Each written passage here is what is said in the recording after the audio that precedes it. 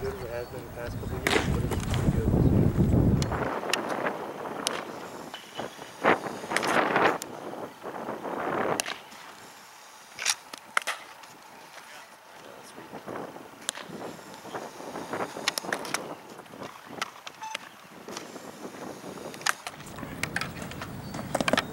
Oh.